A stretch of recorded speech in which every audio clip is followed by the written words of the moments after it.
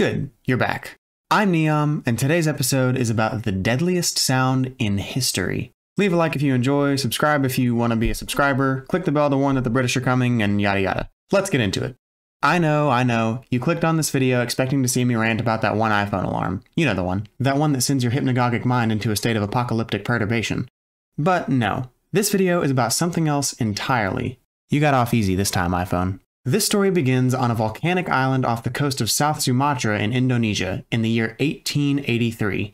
We've all seen the bomb slash mushroom cloud size comparison videos. Well, this explosion from the Java Sea weighs in with a VEI of 6, or about 200 megatons of TNT. That's about 13 times the explosive energy of the Little Boy bomb of Hiroshima, and 4 times that of the Tsar Bomba, the most powerful nuclear device ever detonated. This blast came from Mount Krakatoa, a volcano on the island of Krakatoa. All of humanity's finest minds and centuries of history, and nature still makes our devices look like a balloon pop. I have basically no knowledge of volcanoes and geology, so forgive my layman's level of terminology, but imagine if something like Krakatoa happened today, and the resulting seismology from the shifting of tectonic plates sent tremors across the transect of the lithosphere powerful enough to turn a dormant edifice active, causing additional eruptions, discharging even more pyroclastic flows and brecciated pumice into the belt. And I don't even want to think about what would happen if it reached a cordillera. Where was I? The eruption of Krakatoa sent volcanic rock flying across six square miles around the mountain, and the shockwave gave rise to tsunamis that would destroy nearly 300 nearby villages, kill an estimated 36,400 people, and injure thousands more. Now, picture you're standing next to a jet engine right as the jet is taking off. You get a full 142 decibels straight to the face, lose your hearing, and get taken to airport security for sneaking out onto the tarmac.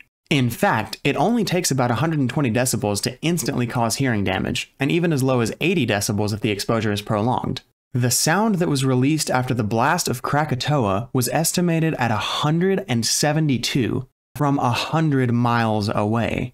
With the speed of sound being 760 miles per hour, the sound would reach 100 miles at just over 8.5 minutes, and anyone living or sailing within that 100 miles would lose their hearing instantly, Anyone within about 50 miles would receive severe organ damage from the sound alone and would literally be killed by the prolonged exposure, if tsunamis, shockwaves, and flying debris didn't kill them first. 172 decibels is extremely loud, and that was from 100 miles away. At the source itself, decibel levels would have been nearing the limit for how loud it is even possible for a sound to be, in Earth's atmosphere at least. Anything above 194 decibels is literally outside our definition of what sound is, if I understood my research correctly. Please remember, I'm not an expert and this hat is just a prop. So, you ask me, if it was that loud at 100 miles, then how far did the sound travel? I'm glad you asked. The sound was reported to have been heard in central Australia in the town of Alice Springs, 2,200 miles away, and as far as the island of Rodrigues off the coast of Madagascar, 3,000 miles away. And even then, sailors near Rodrigues Island who heard it compared the sound to that of nearby cannon fire, making it the loudest sound in Earth's recorded history.